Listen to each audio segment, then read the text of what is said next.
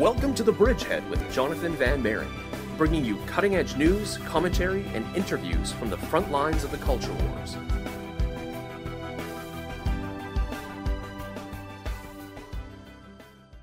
Hello, everyone, and welcome back to The Bridgehead on AM 1380 at 3 o'clock p.m. My name is Jonathon Van Maren, and I'll be your host for the next hour uh, because today we're going to actually have a very special guest on, and and we're going to we're going to be speaking with him uh, for an entire hour. One of the reasons uh, that we uh, had such a long discussion is is simply because this man's story is so fascinating, and as uh, it was Martin Luther King Jr. Day in the United States uh, just very, very recently, and of course, there's automatically a discussion uh, surrounding race and civil rights that takes place around that day every year.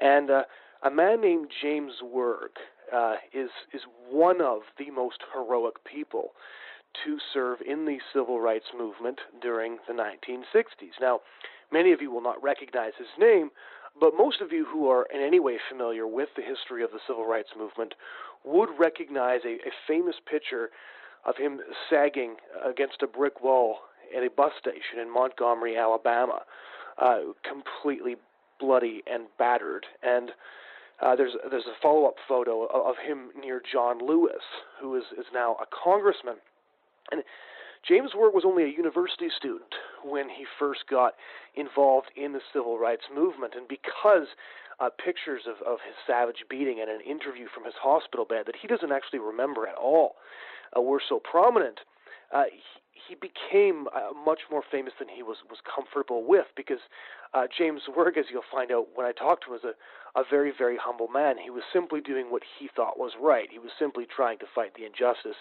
as he saw it.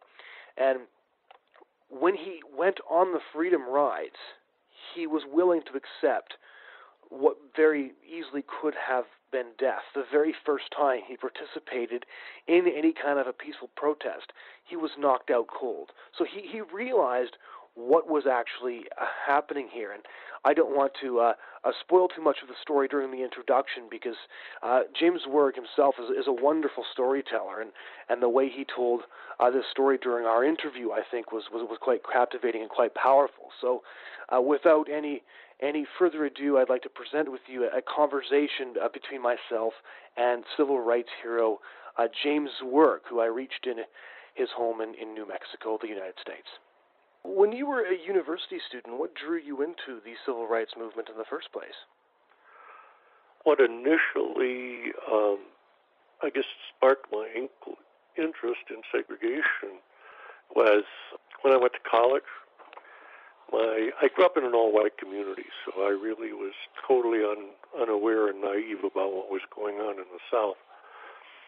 But I had a uh, black roommate my freshman year, and witnessed the verbal and physical abuse that he encountered on campus, like going to the commons and, and having people get up and leave a table when we come and sit down, or just the comments that were made loud enough that he could hear them, uh, dirty fouls during intramural games, things like that. Mm-hmm.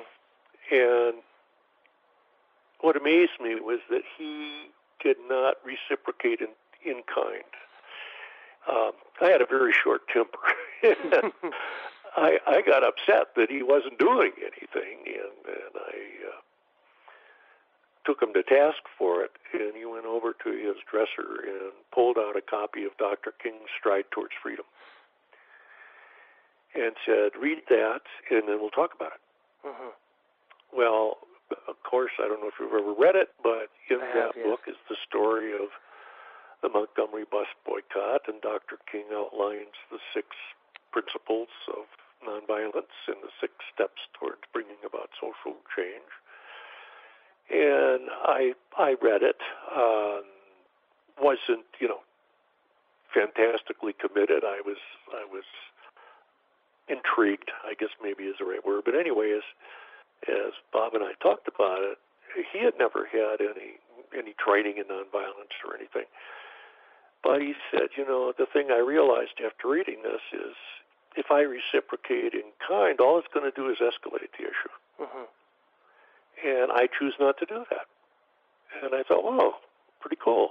You know, um, our school had six uh, African, well, at most time they were Negro students, five fellows and one gal. And I, I also witnessed when we went into town, there would be situations where he couldn't get a haircut when you know barber wouldn't wouldn't serve him or or cut, cut his hair. Or in fact, the very first night, uh, I had another roommate as well who who ended up being the uh, quarterback of the football team. And uh, my folks took the three of us out to dinner, and we ordered and sat around, sat around, and finally somebody came and whispered in my dad's ear and he looked quite upset and said, We're leaving. And as we got outside, he apologized to Bob mm-hmm. in that they refused to serve him. So we found another place where we were served, and but it was it was that kind of an introduction. Um, I went through Rush and, and pledged at that point Sigma Chi, only to find out that Sigma Chi was segregated and Bob was not uh, allowed to come to the house. So I depledged them. Uh, my first great act of defiance, I guess. But uh, my sophomore year, Beloit uh, began an exchange program with Fisk University. And one of the black students from uh, Beloit went down there the first half of the year, and a student from Fisk, Miss Fisk, came up. Mm the second semester, uh, I was a sociology major, and Bob and I were living off campus uh, in one of the uh, professors' homes. And I got thinking, uh, really no intention of getting involved at all, but uh, being a social major, I kind of was wondering, I, I wonder how it would be if I was a minority how would I be treated? Right. And how would I react? And uh, so I applied and was accepted to go to Fisk. And that's how I ended up at Fisk my second semester, my my junior year. And uh, it just so happened that, that the very first day I got there, it was before most of the students were there, and I went over to the student union and uh, ordered a hamburger and fries, I guess, or shake or something like that. Anyway, this young couple, uh, fellow students, uh, invited me to join them in their booth, and we got to talking. And uh, of all things, the the twist was in at that point. Right. a Midwestern twist was very flat-footed, but these kids were really moving around the floor, and I said, you know, what is that dance? And they told me, and I said, well, I know how to do that, and so his girlfriend invited me to go out on the floor, and I basically made an ass out of myself. But they started teaching me some new moves. I always loved to dance. So anyway, we were having a wonderful, you know, wonderful conversation and getting to know each other. And I thought, wow, you know, why don't we go take in a movie? And these kids looked at me and he said, Jim, we can't go to a movie together. The movie theaters are segregated. Mm-hmm. You know, we can't enter together. We can't sit together. We can't use the same restroom. We can't use the same snack bar. And my immediate reaction was, that's the dumbest thing I've ever heard. Right. Well, these two had been involved the previous year in the sit-ins in helping integrate the lunch counters in Nashville, or not, uh, the majority of them. And they uh, mentioned that they were going to be starting a campaign to integrate the movie theaters, as a matter of fact. And there was going to be a meeting that night at the professor's home from Fisk, who kind of served as a liaison to the Fisk students, and invited me to attend. So I did. Uh, anyway, to make a long story short, there was going to be a demonstration the next day. Mm-hmm. I went down and watched it. Um, kids just stood there and I, my general feeling was this isn't accomplishing anything. So after about a half hour, I went over, uh, addressed the person at the end of the line, and said, you know, I've been watching and what was it exactly they were trying to accomplish. Mm-hmm. And I was re- referred to their spokesman who was a young man at the front of the line. Right. So I went up and kind of said the same thing to him. Well, that was John Lewis. Right. And John indicated that the demonstration was going to be ending, and that if I wanted to follow them back to the church where they gathered, that he'd be happy to talk to me. And I did so, and just John is like three months younger than I am, but uh, here we were both 21, and I was in absolute awe of him. Um, it was so obvious that he was very highly respected within the movement there in Nashville. He was one of the leaders. Uh, SNCC was not a, around then. They, they, there they called it the Central Committee, which Mhm. was about two dozen of the kids from the various schools who had proven themselves committed to nonviolence and and uh, gone through the throes, if you will, of violence and jail and so forth. And uh, as we talked, I just, you know, the the faith he exuded, the strength, the absolute commitment to nonviolence, um, just intrigued me, and he invited me to come that following Wednesday to a workshop on nonviolence. So I I went and observed, and that was kind of my beginning. Yeah. Uh, I felt that I wanted to do something, but I didn't see myself ever, you know, really being nonviolent or anything like that. hmm Uh, I helped one of the other fellows start a newsletter that we would uh, put together and was distributed to the various schools, talking about upcoming demonstrations. Uh, there was a statement of purpose that had been written, and we shared that with the students. Anyway, uh, the more I got to know the students in the group, and the more workshops I attended,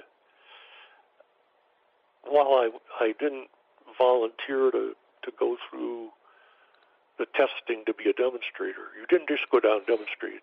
Um, they would test you to make sure you wouldn't break. Right. But And by break, to be clear, you mean snap into violence or just run Yep. away? yep, yes, you'd react. You couldn't. You wouldn't uh, remain nonviolent. Right. And they really tested them. I mean, this was a workshop was kind of two parts. One part was more like almost like a church service with the freedom songs and and personal testimonies as to how nonviolence had, had touched their lives or changed their lives. Scripture readings, the, the philosophical discussions of the the principles of nonviolence, discussions of potential for violence and what actions might be taken to negate it uh, or eliminate it during a demonstration. I mean, there was a, an awful lot of that, that that kind of went on. But then there was the the hardcore workshop where those kids that wanted or thought they wanted to demonstrate would be tested, and it was very severe role playing. Uh, What, what year was this? 1961. 1961. Yeah. Okay. Yeah. I mean, they literally spit on them, kick them, hit them, blow smoke in their face, use every foul, derogatory name they could, uh, so forth, so on. But I would take away from the workshops what had been discussed, and the instructor was a fellow by the name of Jim Lawson, who was exceptional in that he had been a seminary student at Vanderbilt and was expelled because of his anti-Vietnam War uh, activities. He spent 14 months in jail as uh, being a conscientious objector, refusing to, to sign up. But then he had gone and spent, uh, as I recall, it was like four years uh, in India in the Gandhian Institute studying Gandhian nonviolence and he came to know King, and it was actually King that asked him in I think it was like 1958, something like that, to go to Nashville. That King had had been to Nashville, saw the potential of the students there, and asked Jim to come and teach them nonviolence. And he came with, he was an ordained Christian minister, so he came with the Christian perspective of the scriptures. He was trained in the Gandhian nonviolence, so he had the the uh, opportunity to draw from that background as mm-hmm. well as Kingian nonviolence. So he was just an exceptional, exceptional leader, and uh, he not only taught, he was he would demonstrate right there with you. I mean, he walked the walk. The big thing that that he stressed is the the very first principle of nonviolence is that it has to become a way of life for courageous people.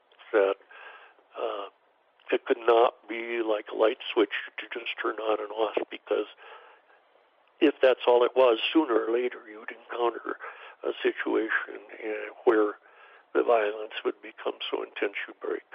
Right. Uh, so anyway, I I took those lessons with me and would reread the passages from the Bible that that were brought up and basically did an awful lot of soul searching, praying about it, um, wrestling with it on how it would impact my life and whether you know I grew up in a church and I I thought I was a Christian but some of the challenges that he had were really remarkable and uh, it finally hit me one day that for me as a Christian um, the Gospels the story of Jesus was really the most powerful story of nonviolent direct action ever written. Mm-hmm that Jesus embodied all those principles of nonviolence the love for your enemy, the forgiveness, the, the innocent suffering, the attempt to educate. I mean, it was all there. Right. And it just hit me, and I decided at that point that I would embrace nonviolence and that I wanted to actively take part in the workshops. And so I I did, and uh, was surprised to find that that I I did not lash out either verbally or physically. And uh, over a period of time, I reached the point where they said, "Jim, we think you're ready. Where will you demonstrate?" And my role was to go and get tickets. There were four movie theaters in four blocks, and mm-hmm. it ended up where I was able to get six pair of tickets. I had a a partner, Bill Harbour, um, the very first time we got tickets, we were able to get into the lobby, but uh, we were both knocked out and thrown out on the on the pavement, and uh, did not get into the lobby until the the movie theaters integrated several months later. But over a period of time, then I I was the only white male student in Nashville that was demonstrating. There were some girls uh, from the, one of the schools at Vanderbilt who lived in Nashville that demonstrated. But over a period of time, being white, uh, we were kind of the focus when there was violence frequently. When was the first time you faced violence personally? The very first night I demonstrated, and I got knocked out. This was uh, attempting to get tickets to. After to I got the movie t- tickets, and we were trying to get into the movie theater. And who was it that, that knocked you out? Was it a bystander, a cop? Uh, what happened? No, it was it was somebody that the manager of the movie theater had hired. They were they were guys that were inside in the lobby. Just they were there to keep people out. Mm-hmm. I mean, the non-whites out. And I don't think you know they didn't realize that I had a ticket. And uh, being white, they didn't recognize me at that point. I, this was my first demonstration. So when I turned to, to Bill, we were right there at the door and were able to get through them. They hadn't locked the doors because there were still white patrons going in to, to see the movies. So but, that, uh, that must have been a, a real catalyst moment as well, where you went from the uh, the practice trial runs and the discussion and, and the philosophical acceptance of the tenets of nonviolence, but then to actually face the violence yourself, but choose to keep going with it. That must have been almost a, a secondary but still very crucial decision point. Well, it the thing was the more you you became involved, the more experience you had, um, the deeper uh, your faith became, your commitment became. There was such a, a powerful bond between the students. I mean, we knew each other. You know, if, if you you were going to encounter violence, that every other student there was giving you their strength. So you were able to take so much more than you could individually, probably. And and over the months, uh, it was recognized that uh, I my commitment was deepening and my faith was deepening. We really knew that there was a power that was working in us and through us. We felt that very, very strongly. And uh, I was selected to be, uh, become a member of that central committee uh, after a period of time. And I was in that capacity. I mean, in that capacity, I was, uh, if, if students would come from out of town to, you know, they'd heard about nonviolence or demonstrations or whatever, the sit-ins, we'd, they'd ask for panels or they'd ask for students that were involved to come and talk to them. And I was frequently one of the members of those panels. A lot of times it was John Lewis and Diane Nash and, and Bernard Lafayette and myself to explain why we were involved. Why is a white guy involved in this? You know, and it is because it's not a black and white issue. It's an issue of justice and freedom and equality.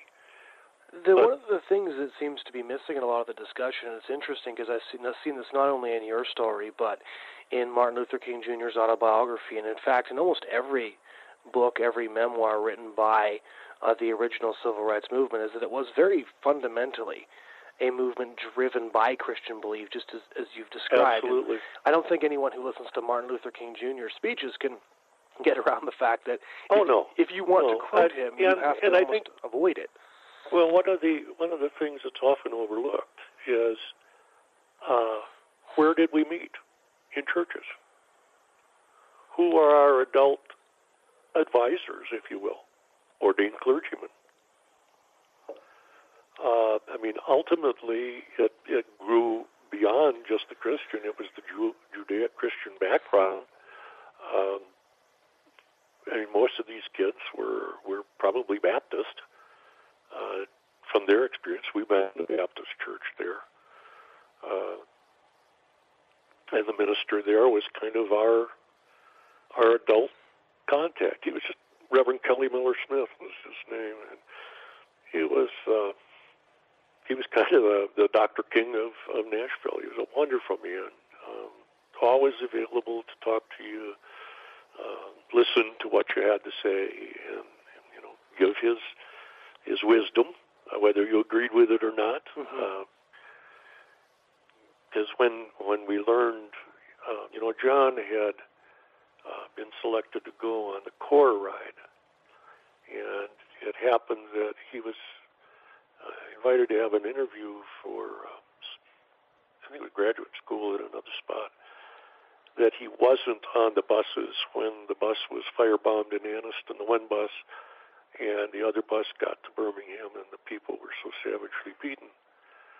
But when we heard of that, the, the Central Committee immediately had a meeting and, and called the minister in Birmingham, who was a fellow by the name of Fred Shuttlesworth.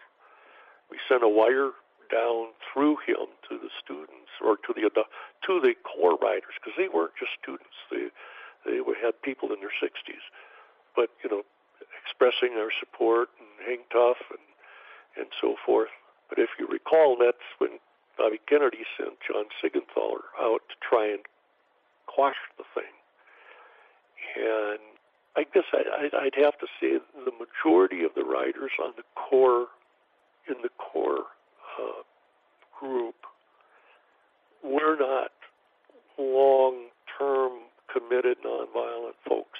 I mean, Jim Peck, the guy that was so savagely beaten in Birmingham, was uh, James Farmer, the leader of CORE. But several of the of the students and, and the uh, adults only got like two weeks of nonviolent training. Right. Uh, so they didn't have the depth of experience or commitment that we had in Nashville. And Siegenthaler was able to convince them to quit. So overnight, eventually, the first time there was a, a bomb threat on the plane, but ultimately they flew out of Birmingham to New Orleans. And when we heard that, we were extremely alarmed because our view was that that gave the impression or would leave the impression with the segregationists that all they had to do was become violent enough Mm-hmm. and you know you turn tail and run and our feeling was that you know if if that was the impression that was left it could set back the movement years if not decades Right. so our immediate decision was that the ride had to be continued. That and that we were the logical ones to continue that ride because we had just we we'd successfully integrated the movie theaters. We did not have a new campaign at that point. Uh, the biggest thing was was coming up with the logistics of uh, who would go, what would be the makeup, where would we go, how would we go, uh, et cetera, et cetera. Where would we get the money for the tickets? So we spent uh, several hours wrestling with that, and ultimately uh, were able to obtain the money for the tickets. We had talked to King and Farmer, both of who said, "Don't go. You're going to get, you know, it's a, you're going to get killed, basically."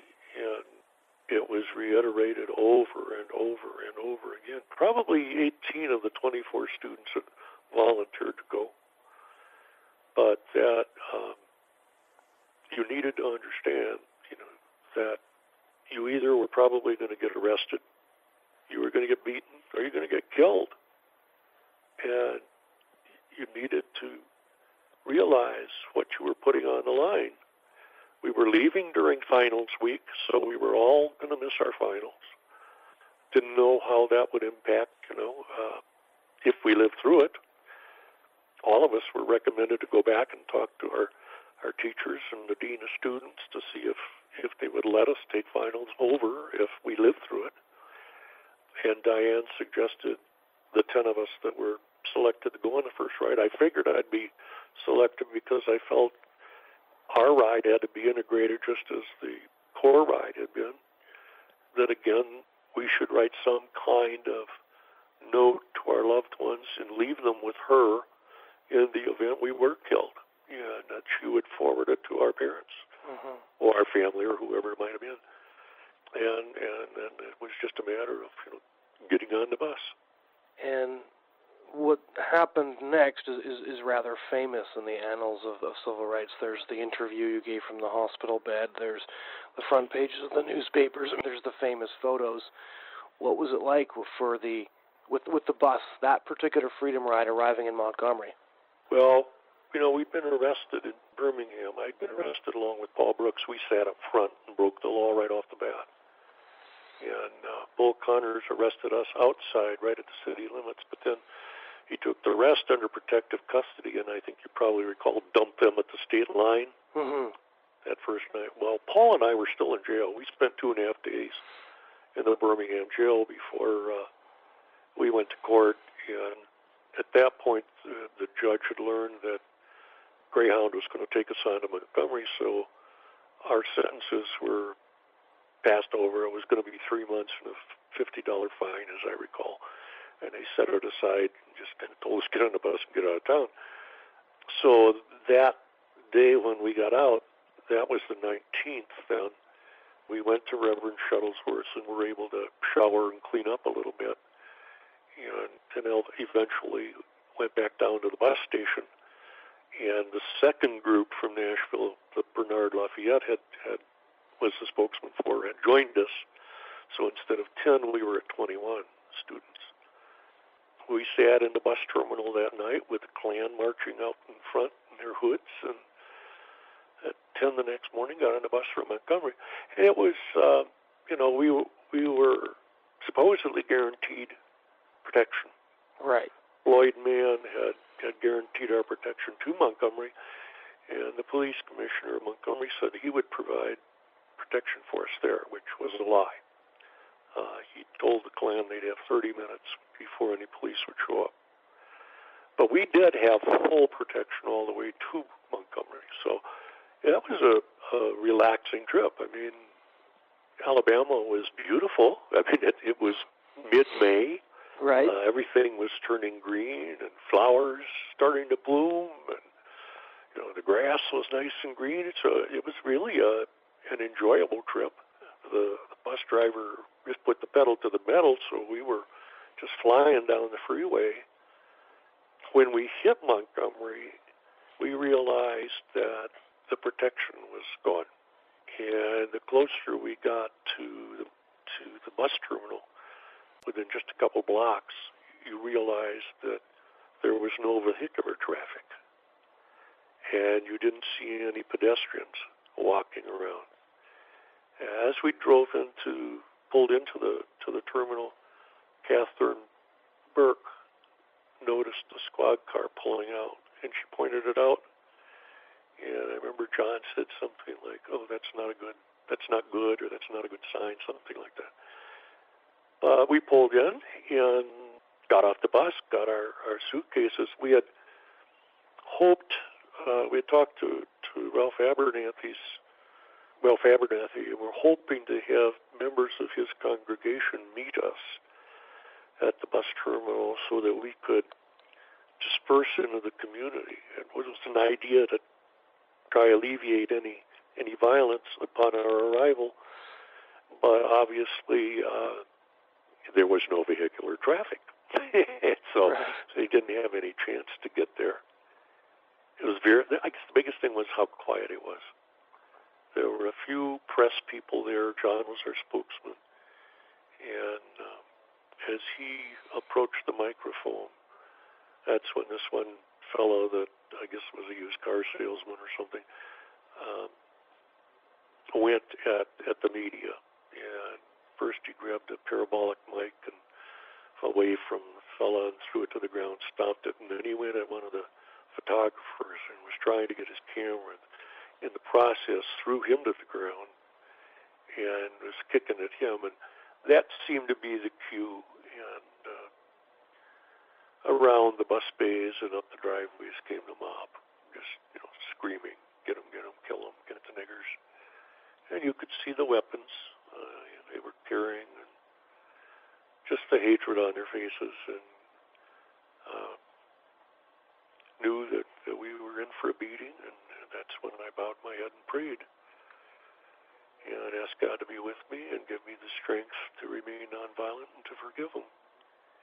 And I encountered the most incredible religious experience in my life because I did indeed feel a, a presence, a I don't know how to really express it, but it, just like I was surrounded with this incredible love and peace, and knew in that instant that whether I lived or whether I died, it was going to be okay. And then I got beat up. And beat up badly from the pictures that are, are now famous. Yeah, they uh, had a severe concussion and I guess three cracked vertebrae, broken nose. Do you know who it was that beat you? Klan.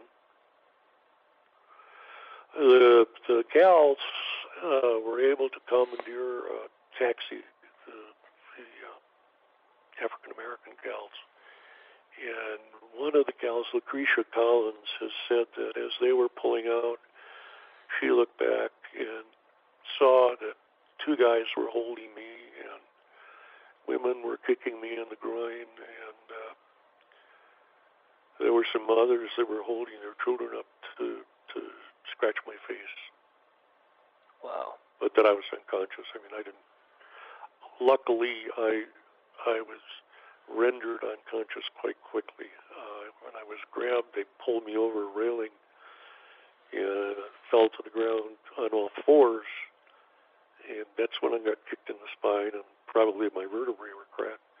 But I flew forward, went over on my back, and a boot came down in my face. And it's basically the last thing I remember till I, I woke up briefly sitting in the back of a vehicle. And uh, John was there and handed me his handkerchief to wipe off blood.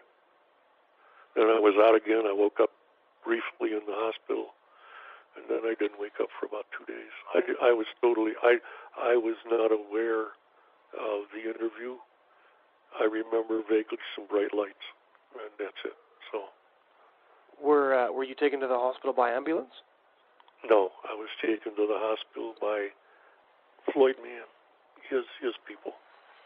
He showed up, and uh, I met the the uh, patrolman that uh, was called upon. I didn't. At one point, I was told that a, a, a black minister took me in his in his vehicle, but at the uh, 50th, when we were in Montgomery at Reverend Abernathy's church, this white fella came up to me and said, I'm the guy that took you to the hospital. And at that point, they were rushing John and myself to an interview with NBC down in the church office. Mm-hmm. And when I got back, he was gone. But I eventually found out his name and, and talked with him, and he he explained that the white ambulances refused to take me, and the black ambulances were afraid to take me. So I basically lay on the tarmac for about a half an hour. And then Floyd went up to him and said, You know, where are you parked? And he said where he was. He said, Bring your car around. And he drove. Floyd Mann sat in the front passenger seat, and there was another fellow that it was interrogating me apparently in the back seat as we rode to the hospital. And how did your family react when they saw the imagery of you on while you were in, you were on the newspaper? Of course, there was the interview that you don't remember.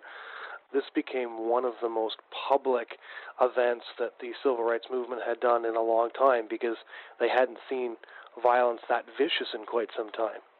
Well, it's funny because you know Jim Peck had a lot of violence when he hit Birmingham but again, the the picture didn't seem to go nationwide. I think it was partially because we were young that it did go literally around the world.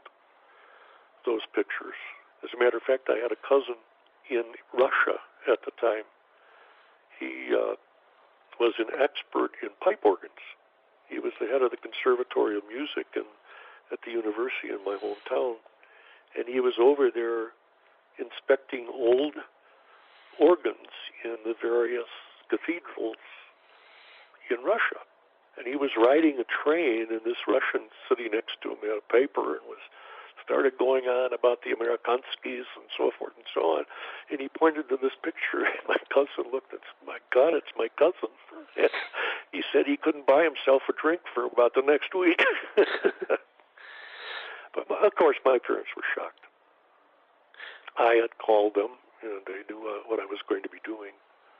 But it, it was it was hard for them. Were, were they supportive? Because I know, based on how they treated, uh, you know, your your friend Bob from university, that they were not at all in favor of segregation or racism. At the same time, no, that was one of the things that that certainly helped influence me and, and gave me guidance and um, mixed feelings because uh, you know they didn't want me to go, and I had said, you know, I I've got to go. It's it's it's something that uh, I, I just feel so certain that this is what God wants me to do with my life right now. mm-hmm. Uh, it's, it's really not open to discussion. I love you guys. Um, so we had we talked about it long and hard, but over the years, and everything, you know, uh, they became very supportive. What were the years uh, after that sort of very high profile event like is of course the Civil Rights Act got signed in 1964. Were you part of the the March on Washington in 1963? No, uh, I was in seminary at the time. That September after after the ride, first of all, I went home.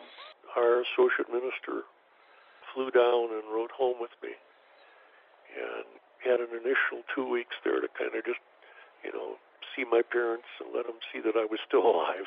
right. but I, uh, Fisk had agreed to let me come back down and take finals. So my brother drove me down. And I, I was really wrestling with the situation. At that point, I was not aware of my broken vertebrae. All I knew is that I just had severe back pain.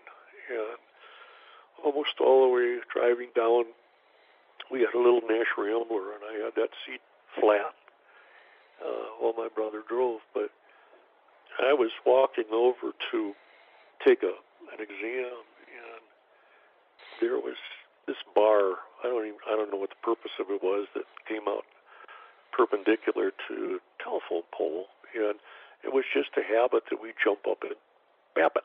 And I proceeded to try and do that, and I shouldn't have because I obviously put a strain on those vertebrae, and I passed out from the pain. And some of the students that were there carried me over to Meharry Medical School, which was right there, I mean, right next to Fisk. And they did the x-rays, and that's where they found the, the broken vertebrae. And so they basically, all they could do is put strips of uh, medical tape from my buttocks to my shoulder blades. Little did I know I was allergic to it. But um, all the, everybody basically what what they had attempted to do was, of course, by this time people were coming from all over the, the country, and they had tried to establish areas where interested parties would go for nonviolent training. And one of them was Nashville and Greensboro, and there were a couple of other locations. Well, I went over to the office where we met, and there was nobody there. All the the students, of course, school was out, and and all the leadership was down in prison, right, in Jackson. And I felt really bad about that. Uh, I, now that I, I knew I had these broken vertebrae, uh, and the doctors were saying you can't, you know, you can't do anything, you can't go anywhere. Uh, you just need to go home and heal because I really was wrestling with, you know, I should be with my brothers and sisters down there mm-hmm. uh, after the after the finals, but it ended up where I went, you know, ended up where I went home and healed, and and then in September, Dr. King's SCLC honored the ten of us that continued the ride with their Freedom Award for that year, and they held the meeting in in Nashville, and uh, I think he did it with all ten of us, but I I literally had a, a one-on-one with Dr. King for about a half an hour. What was that like? And he was, you know, where where are you? Uh, are you? I was being approached to help in the voter registration freedom summer down in the South, and I was wrestling with that, or should I stay in school? Anyway, we talked for about a half an hour, and I, I had told him that initially I had been wrestling with the possibility of going into the ministry. And he said, Jim, you do that. Then continue your education and, and go into the pastorate, and you'll touch a lot of lives. Just, you know, keep preaching that message of love and nonviolence and forgiveness, and, you know, the whole Christian gospel. And I took his advice, and so when, you know, I went back to, to my college to graduate and then proceeded on to seminary. Looking back at those years, what's the thing that stands out for you the most now? The years after, or what? Uh, yeah, the years just after that, where you're sort of almost decompressing from this in, intense experience that you'd been living through. Uh, boy, it was a decompression. That was very difficult. Uh, that was, you know, as as Dr. King said before he was killed, kind of being to the mountaintop. It was a mountaintop experience. Uh, incredible bond between us, the students, the love we shared, the commitment we shared. During those months, I've got to say, you know, I was never so spiritually alive. Uh, I would, as I said earlier, I was never so certain that that I was indeed doing what God wanted me to do with my life at that time. Mm-hmm. And uh, prayer had become so much so meaningful, and and the reading of scriptures just just took on a, a significance. It brought so much comfort and encouragement uh, during those those months. There were certain passages that just uh, helped so much, and it was while I was constantly being asked to speak and, and share my experiences. Uh, it was also very difficult because you were trying to explain a life altering experience to people that just kind of like me the first time I read Stride Towards Freedom can't really grasp how powerful that whole element of living your faith is and was.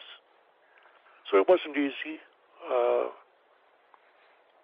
but the the wonderful thing was while I I didn't you know live in the South, I was back in, in the North. Uh, over the years, there are those that we have maintained communication with and, and seen on a, a relatively regular basis. Uh, and every time we get together, the, the years just roll back and the love is there, and, and it all comes back. It, it's just that element has been wonderful over the years, and it's just literally been kind of this last uh, year or two since uh, we've moved into rural New Mexico. Uh, we're 50 miles away from our nearest grocery store. Okay. That uh, I still will talk to kids uh, about History Day type thing, but I, I don't do speeches anymore. Uh, it just takes too much out of me, and and with my arthritis and artificial knees and stuff, I just uh, it's it's just too emotionally and spiritually draining. Mm-hmm. Well, thank you for taking the time to talk to us. You're very welcome. Oh, one last thing for young people today. Your story is, is, is so interesting because you tell it like it was, how you saw it, how important faith was as a part of it, not just as a social movement, but as you say, also a very Christian movement. What what sort of I'll say spiritual movement rather than Christian because it took in all faiths over a period of time. What's the one thing that people today can take from your experience? What would you want them to take from your experience? I guess the big biggest thing I have tried to stress with people is, you know, you don't have to do or get involved in some national event or movement. The day-to-day kindnesses to look around where you are in school. Bullying is an issue. You know, new kid comes to school. Instead of ignoring them, make them welcome. Uh, I happen to have a grandchild that that has cerebral palsy. Uh, I feel very strongly that the physically and mentally disabled uh, are often overlooked. That's where money seems to get cut the most in schools and things. Mm-hmm. But Gandhi had a wonderful story of the starfish. Are you acquainted with that? Mm-hmm. Yes. That I, I frequently would end a speech with that. You know, here's something where the guy says, you know, it's not going to make any difference. Look at all these. And he takes the starfish and throws it in and says, it makes the world a lifetime of difference to that one. Yeah. And that's the thing. You know, if you touch one life and make a difference in one life, and that person goes on and, and does likewise, it's growing.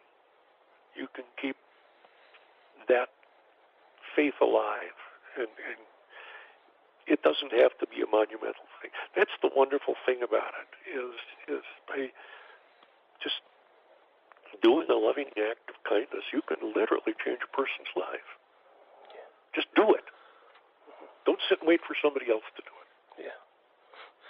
Well, Mr. Zwerg, thank you so much for taking the time to speak with us. We really appreciate You're it. You're very welcome. Have a wonderful Take day. Care. Bye. Bye. Ladies and gentlemen, that was former freedom rider and civil rights hero James Zwerg speaking to me uh, from his home in New Mexico about his experiences in the civil rights movement. And uh, I think what really had struck me the most about about James Zwerg's dedication was he talked about uh, the joy in those circumstances where you can be facing a lot of hostility. Things uh, can be very, very ugly often. Uh, there could be people screaming and shouting and disagreeing with you, but the camaraderie and the love he felt for those uh, that he faced the fight with uh, were what carried him through. And, and how when he visited them, it was like it was like they were there again, doing the same thing, going into battle for human rights. So, I, I, I've admired uh, Mr. Zwerg for years since I first heard of his story about six years ago, and I really hope that that you took out of the story uh, what I did. Thanks so much uh, for tuning in, and uh, we hope that you'll tune in again next week. We have another a very fascinating interview. It will be an interview actually uh, with a Holocaust survivor who survived uh, five separate concentration camps. We'll be airing that for the 71st anniversary of the liberation of Auschwitz. And if any of you uh, want to catch these shows online, just type in The Bridgehead on SoundCloud. We upload them all there. Uh, thebridgehead.ca as well. We post all of the interviews uh, online afterwards, and, and you can also find us in uh, on YouTube at The Bridgehead. So if any of you would like to follow up on these shows, then then you can do so online. Thanks again so much for joining us, and we hope you'll join us again next week.